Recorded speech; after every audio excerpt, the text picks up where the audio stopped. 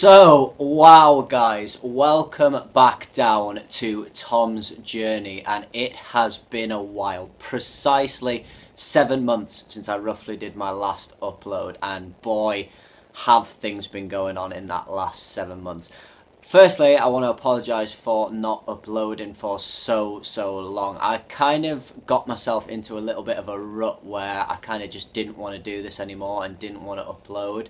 So what I'm going to do is I'm going to explain in like kind of a little bit of a timeline what I've actually been doing for the last seven months and kind of why I took a little bit of a break from running and now why I'm back into running but doing some kind of like completely different distances.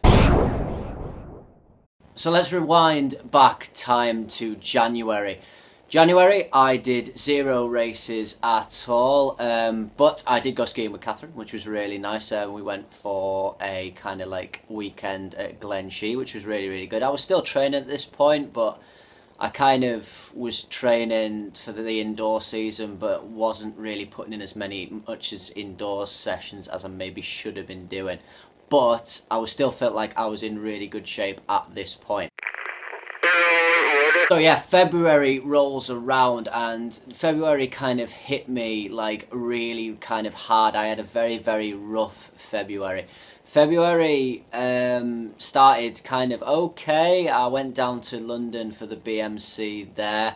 I ran 201. I kind of was expecting better. I felt in really good shape, but it was just one of those races where I just didn't transition well to it.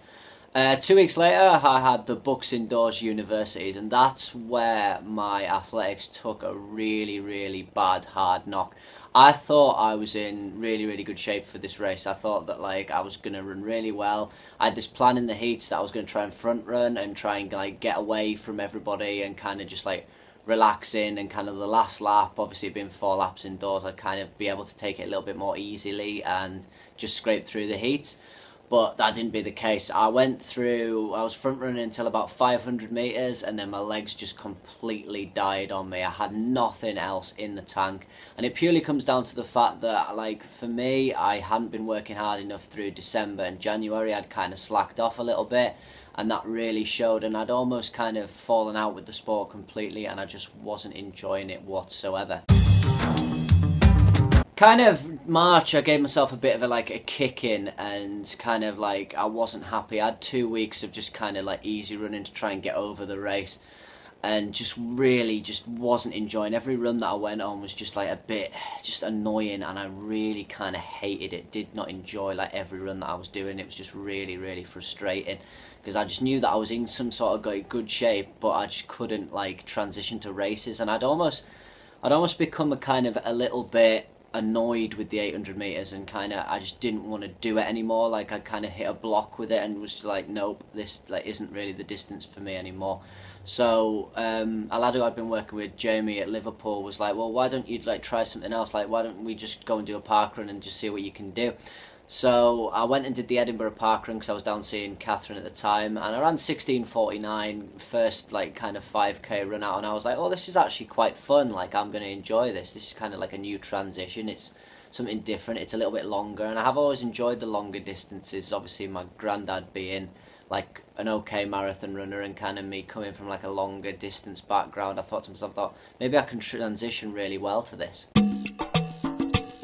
Uh, to roll April and May into kind of one, all I was doing basically through April and May was knuckling down really and just getting some solid hard training in towards like hopefully trying to perform on the track over the 1500 metres because I kind of decided that maybe the 1500 metres was the way to go at this point.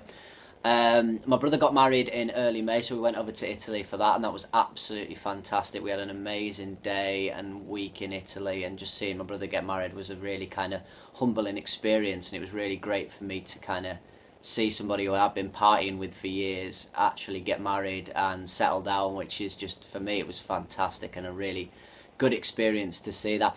Um, I also finished university um, for my second year and finished with a first, so I was really happy with that. And I also presented at my first like conference for coaching. I um, I like talked about my study that I'd been doing in second year all year, which was my 800 meter study um, on tactical awareness, and it was an honour to present that in, some, in front of some really kind of prestigious like doctors and leads in their field.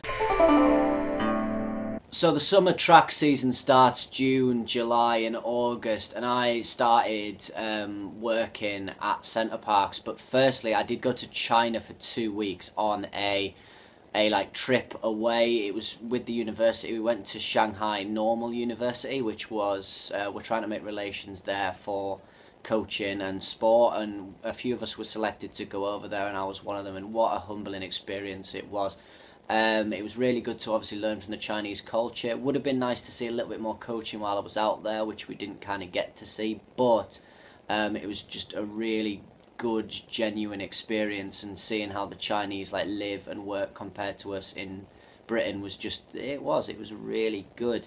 Um, however, I did obviously start at Center Parcs, which meant I was working between like forty to fifty hours a week and I just really couldn't train on that. Like it, my job is an outdoor activity instructor, so I teach like um, segways and quad biking and stuff, and I'm on my feet all day, and you just can't train to the high intensity that you would like to, and it does make me sound like a bit of like a kind of like giver upper and somebody who doesn't try that hard when it gets like difficult, but. For me, I really struggled to adapt to the whole fact of working like a full time job and training. I really did struggle with that.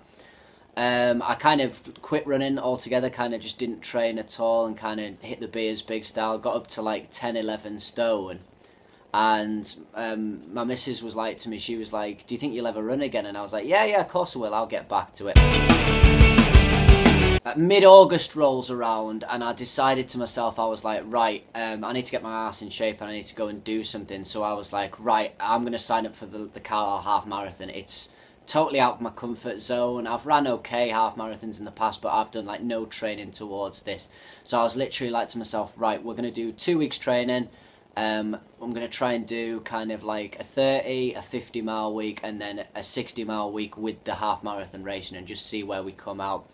Uh, the race itself, it went really kind of well considering I'd only done two and a half weeks training.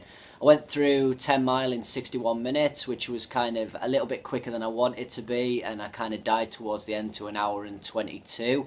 But I did come seventh, and I was really happy. And what that race gave me was the buzz back into running again, and kind of that motivation, the fact that I do want to train, but I don't want to be an 8 1500 meter runner anymore because I don't feel I have the speed and the just the dedication to be able to train for that discipline of lactic all the time. I, I want to switch my distance now to the 3k, 5k, 10k. That's where I want to train now. Um, I want to up my mileage. I want to do it slowly and progressive, and I want to take you guys on the journey of doing that. Um, my aim now is to kind of progress my training from less kind of like high quality speed sessions to more longer progressive runs and really long hard sessions now to get myself in the best shape endurance wise I can possibly be. And I'm excited to take you guys on this new path and journey. Um, in regards to obviously my new like upload schedule, I'm not going to set a dedicated day because of my third year of uni. I really need to knuckle down and work on the fact that I need to work harder this year because obviously it's my third year, so I need to knuckle down and really, really study hard if I want that first class honours degree. So I'm going to try and put out a video every three or four days, give or take, but if a video doesn't come out, unfortunately I am studying towards that and working on my training. So I hope you guys enjoy it.